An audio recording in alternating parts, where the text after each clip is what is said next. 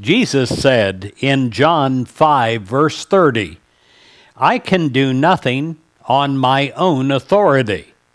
As I hear, I judge, and my judgment is just.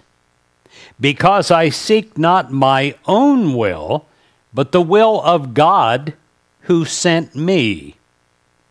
Now, that's the big thing that we're always questioning. Am I doing the will of God? And the big question what is the will of God for me?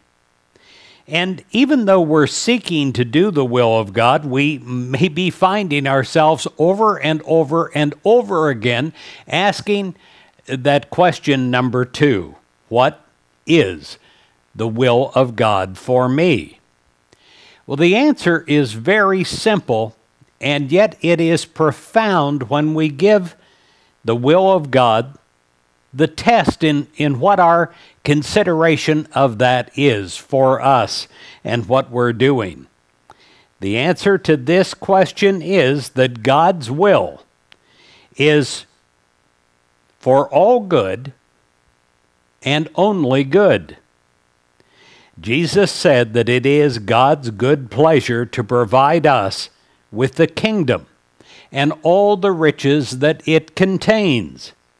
With this assurance, we enter into our times of prayer, knowing that the guidance we receive in the form of divine ideas will always bring greater good into our lives.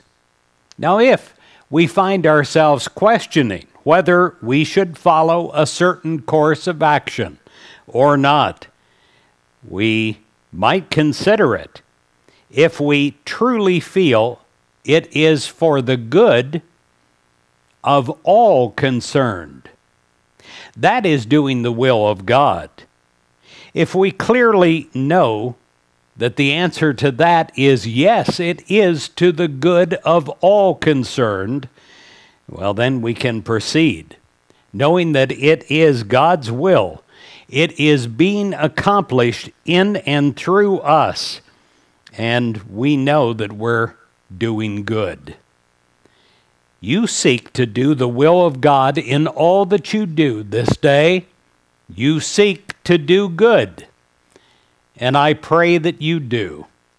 And I wish you and yours a very, very Merry Christmas. God bless you.